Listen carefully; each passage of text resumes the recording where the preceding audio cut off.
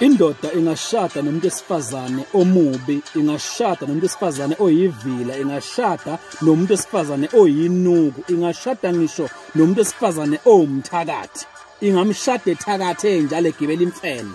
Kunokuthi ishade umuntu wesifazane onomlomo omude umuntu wesifazane onomlomo ongavaleki. Uma umuntu wesifazane onomlomo ongavaleki uyogugela ekhaya kwebhodo lesizulu ngoba ayikho indoda eyokushada.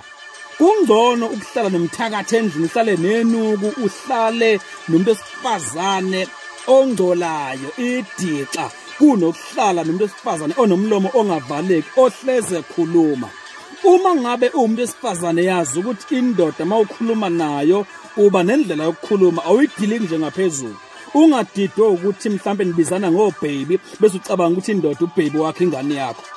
Kunendlela ekumele ukhulume ngayo mawukhuluma nomuntu wesilisa mawukhuluma nomuntu othandana naye wesilisa. Umdili nje ngaphezulu okwamanzi eshawa. Uma uhlelwa yilokho uyogugela ekhaya kwamabhece aseyivandeni uze ube nemibimbi uhlele ekhaya ube nelunda njengenkomo bless you.